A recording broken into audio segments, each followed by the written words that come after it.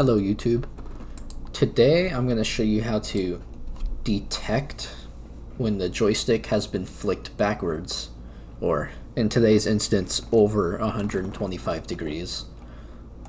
Uh, for instance, if someone were just holding forward and they wanted to flick back to say skid or do some kind of backflip. Uh, and this is my own personal project, so instead of doing it from scratch, I'm going to step through what I have already built. We'll be looking at this function here in my update event tick event. Uh, but before we get into this, I think it's important that we first understand the math behind what is going on. So when using a joystick, what essentially happens is you have a 2D vector for the player's input, where this point in the middle is the origin at 0, 0. The y-axis of the joystick refers to the y, so this point would be 0, 1, which means on the x this would be 1, 0, and so on and so forth, you would have the negatives. So as you move the joystick around, it varies inside this box here. And since the joystick itself is a circle, uh, you would typically think that it would be impossible for the values to go up to here. But that is not always the case. It depends on from joystick to joystick, but most joysticks don't automatically restrict themselves to just this space. So what we'll end up doing is putting a clamp over it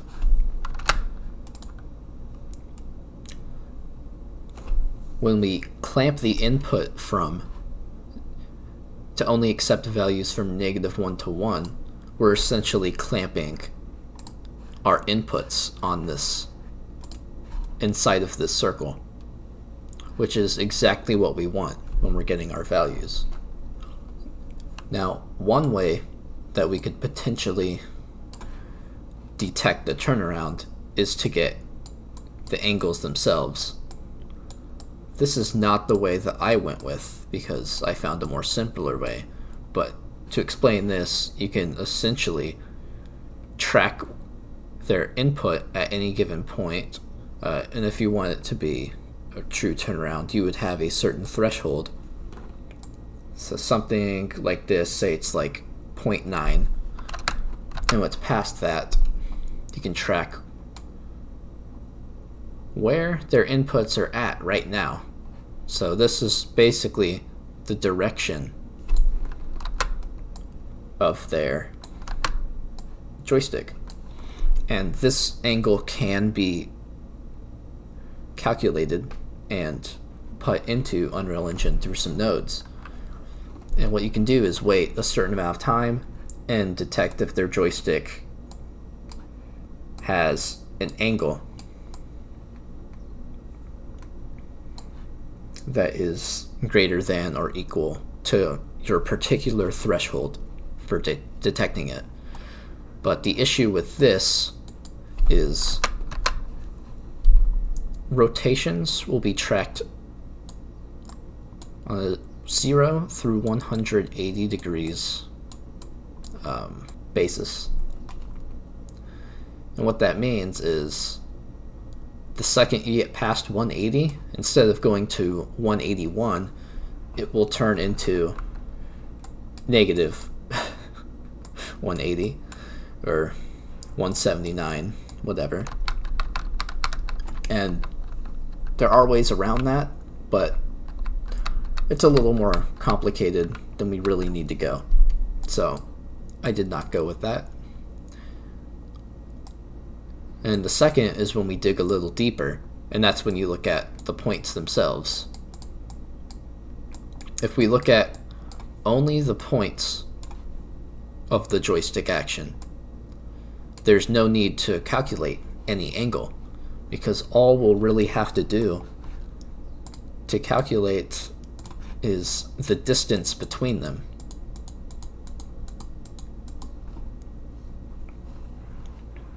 And if this distance is equal to a certain amount, or greater than, uh, we know that it's within this angle, because if you were to do it down here, well, this line is shorter than this line.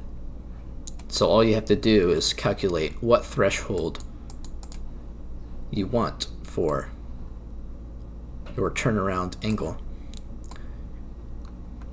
And these are the principles that we'll be working with today. It's also worth noting that when you use points, like I am here, uh, the wrong way to do it is to use the Pythagorean theorem to calculate this line here and use that to detect uh, your angles. Say if the line is equal to like you could you could add up both of these lines to see if it's over a certain amount. Uh, but that's the wrong way to do it because the player could simply press this direction twice in a row instead of actually turning around. So it's a, a bit of a pitfall to avoid. Uh, let's head over to Unreal Engine.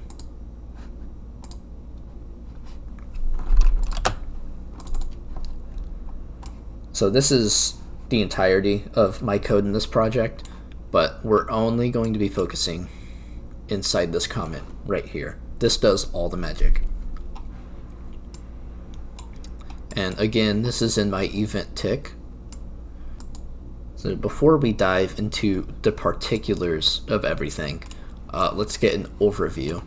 It starts off with a sequence node, which basically first it will detect if the joystick is far enough and if it is far enough it will open a gate and what this gate does is it will accept the incoming values uh, of the joystick and the gate is only going to be open when the joystick is almost fully pressed or fully pressed you can decide that for yourself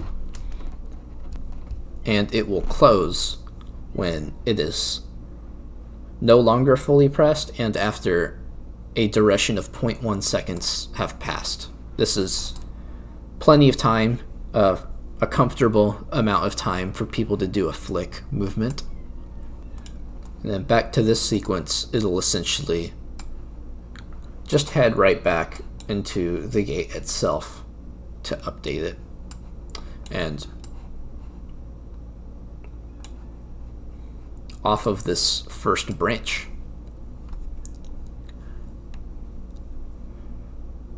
It will essentially just detect when the gate has been closed and after it's been closed it will take the newest value that we have so the, the current value after the 0.1 seconds has passed and it will use that value to detect if it has been long enough to be detected as a turnaround.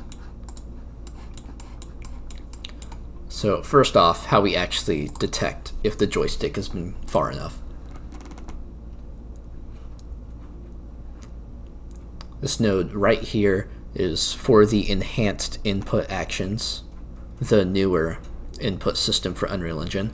It essentially just gets the X and the Y values of the joystick and the way that I am detecting if it is greater than 0.9% uh, fully pressed out, so almost fully pressed out with some wiggle room, I am using the Pythagorean theorem.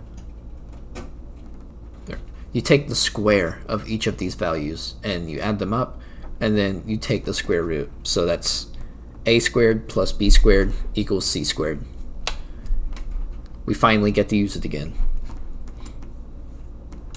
And I add my clamp, just like the circle over the grid to make sure it stays within 0 and 1. And the reason this is not negative 1 here is because what I'm doing right here, instead of getting the point, I am getting the distance from the point to the origin of the joystick to 0, 0. Just because we are simply detecting whether or not it has been pushed out all the way. It does not matter what direction it has been pushed out. And if it has indeed been pushed out far enough, this bool will be set to true. And this bool basically just detects whether the gate is open or closed. And this is a very important uh, for the rest of the logic down here that this bool exists. Because without this boolean, uh, the code that plays when the gate is closed will go off several times, and this is essentially a flag to just stop it from happening.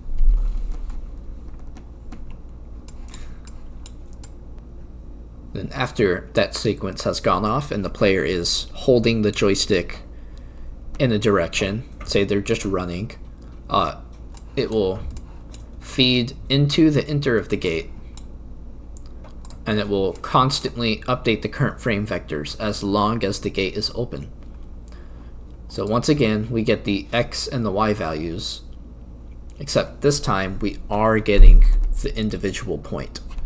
So each individual value will be clamped between negative 1 to 1, just as precautionary. And then I have a vector 2D that I will set using these values. And this vector 2D will basically represent the point that the joystick is currently at.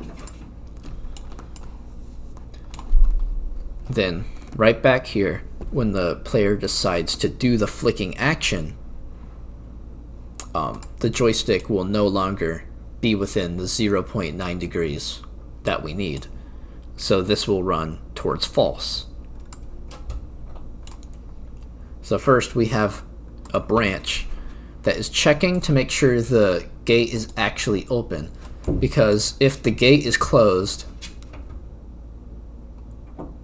then that just means the player was running without flicking all the way. Just running normally. And we don't want any of the code after to execute when that happens.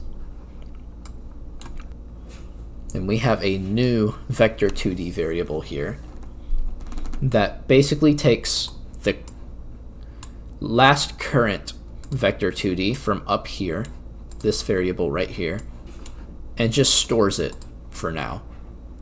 I called it last frame vector because down here we will have a newest frame vector for the one we get after the delay uh, that we'll compare in a second.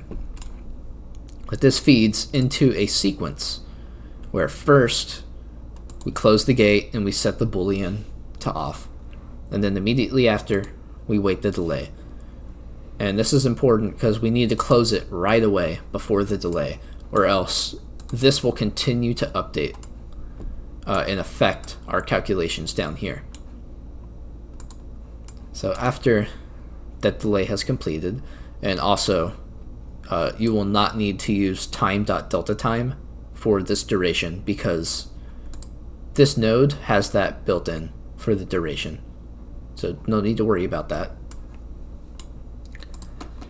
And now we have our third vector 2D variable for the newest, which is essentially the exact same as the code up here, except storing into a new variable. It will once again record what point the joystick is at after the delay. And after that, we will have a branch node that decides whether or not it is a turnaround. So what we do is we take the last frame vector and we subtract the newest one, that is this variable and this variable, and we subtract them. And then we use a vector 2D length node, which essentially is just the distance formula in one node, which is very nice and convenient. and it will give you the length between those two points as long as you have this uh, before it. And if the length is greater than or equal to the threshold, which I have set to 1.8, which I calculated to be roughly 130 degrees around there, uh, which works for me perfectly. But if the length is greater than that, it is detect detected as a turnaround. And then you'll want to reset the last frame and the newest frame afterwards, or else your future calculations will be quite messed up. And that about does it for the turnaround flick. Then you can use all the nodes you want inside your enhanced input action to decide what to do if it has been detected. So like instead of a print string, you could just have a boolean saying it has been turned around, right? And then you can do the turnaround action and then reset the boolean. Uh, I have not implemented that, so we just have this text up there that just says turnaround. But, you know, it works like a charm. And it's not very performance heavy. There weren't any other videos about this, so I figured I would just make my own. Thank you.